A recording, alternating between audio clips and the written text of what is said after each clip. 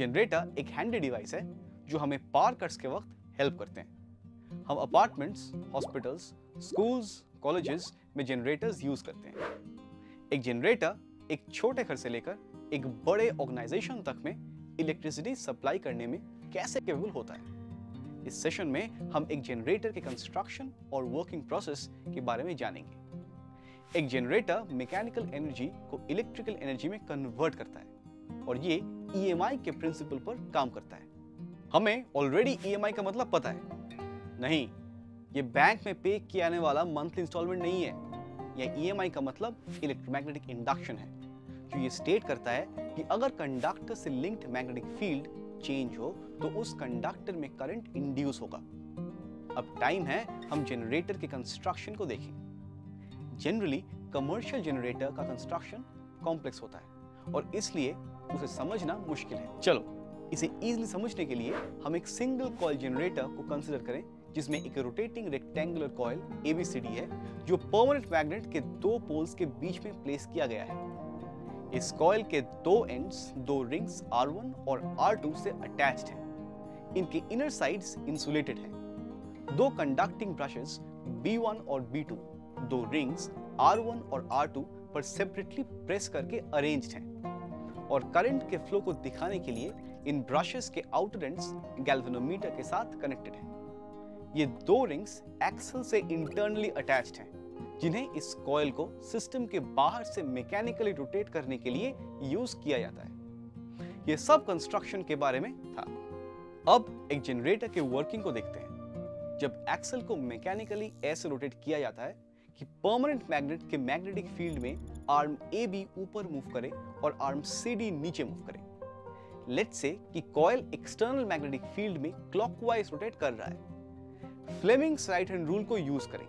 Wait a second Fleming's right hand rule को एक बार रिकॉल करते हैं। जब हम थंब फोर फिंगर और मिडिल फिंगर को एक दूसरे से म्यूचुअली परपेंडिकुलर वे में स्ट्रेच करें और अगर फोर फिंगर मैग्नेटिक फ़ील्ड के डायरेक्शन में पॉइंट करे और थंब कंडक्टर के मूवमेंट के डायरेक्शन में पॉइंट करे तो मिडिल फिंगर इंड्यूस्ड करंट का डायरेक्शन दिखाता है। यस yes, अब आप फ्लेमिंग्स राइट हैंड रूल को इस कॉइल पर यूज़ करें। हम देख सकते हैं इंड्यूस्ड करंट्स इन आर्म्स पर ए बी और सी डी के डायरेक्शन में सेटअप है। इसलिए induced current A B C D के डायरेक्शन में फ्लो हो रहा है। इसका मतलब एक्सटर्नल सर्किट में करंट बी टू से बी वन मूव करता है। एक हाफ़ रोटेशन के बाद आर्म सी डी ऊपर और आर्म ए बी नीचे मूव करता है। एज अ रिज़ल्ट कॉयल के करंट का डायरेक्शन रिवर्स हो जाता है। अब कॉयल में करंट का डायरेक्शन डी डीसीबीए के अलोंग हो गया है। As a result external circuit में करंट का डायरेक्शन बी वन से बी टू है।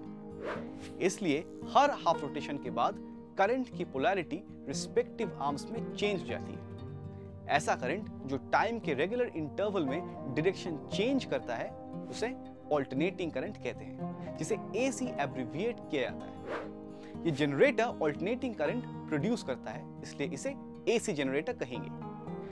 अगर एक लार्ज नंबर ऑफ़ कॉइल्स को यूज़ किया जाए तो हर एक कॉइल का करंट एड अप होता है एंड एज अ रिज़ल्ट एक लार्ज अमाउंट का करंट बनता है। सिर्फ़ यही नहीं, अगर हम रोटेशंस का नंबर इंक्रीज करें तो इंड्यूस्ड करंट का अमाउंट भी इंक्रीज होता है।